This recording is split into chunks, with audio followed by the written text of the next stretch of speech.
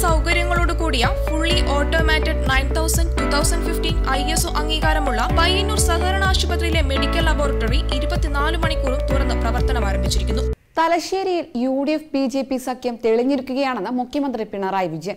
ഗുരുവായൂരും ദേവികുളത്തും തലശ്ശേരിയിലും B J P സ്ഥാനാർത്ഥികളുടെ പട്ടിക തള്ളിയത് യാദൃശ്ചികമല്ല. നേരത്തെയും ഈ ധാരണയുണ്ടായിരുന്നു.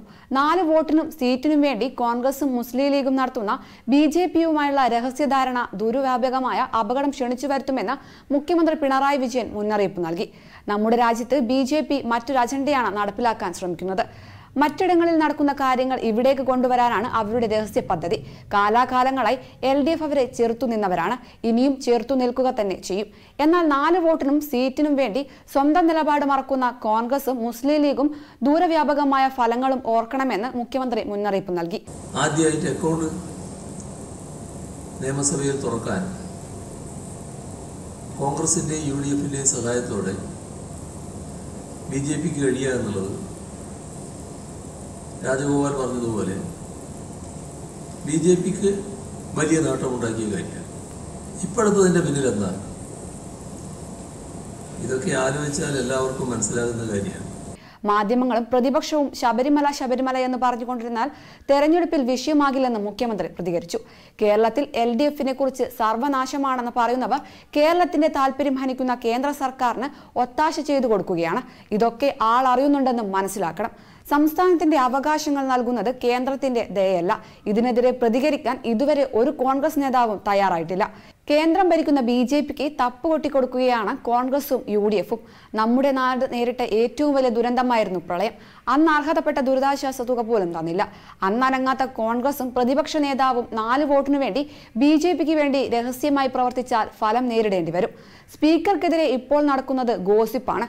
ഞങ്ങൾ ഇതൊക്കെ കുറെ കണ്ടതാണ്. അങ്ങനെയൊന്നും ഭയപ്പെടുത്താൻ നോക്കണ്ട. കേന്ദ്ര അന്വേഷണ ഏജൻസിയുടെ വൈവിട്ട നീക്കം നിയമസഭാ പ്രിവിലേജ് കമ്മിറ്റി രൂപീകരിച്ച് എതിർപ്പ് പ്രകടിപ്പിച്ചതോടെയാണ് സ്പീക്കറെ കൊടുക്കാൻ തീരുമാനിച്ചത്.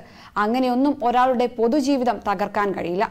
കഴിഞ്ഞ തദ്ദേശ സ്വയംഭരണ തെരഞ്ഞെടുപ്പിൽ നിങ്ങൾ കുറെ നോക്കിയതല്ലേ? എന്തെങ്കിലും നടന്നോ എന്നും മുഖ്യമന്ത്രി പിണറായി വിജയൻ മാധ്യമപ്രവർത്തകരോട് ചോദിച്ചു.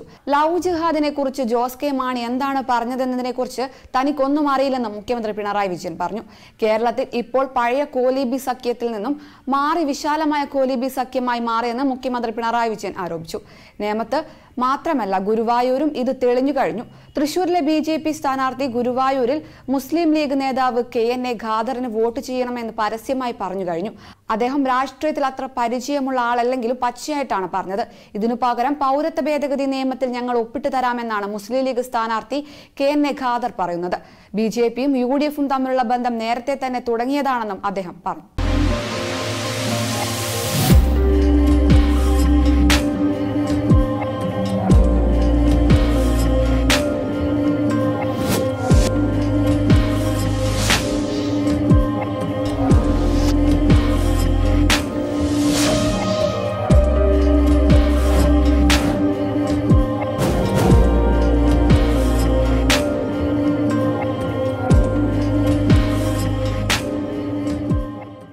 ഓറ ഹോം സെന്റർ. ഓറ ഓരോ വീടിനും.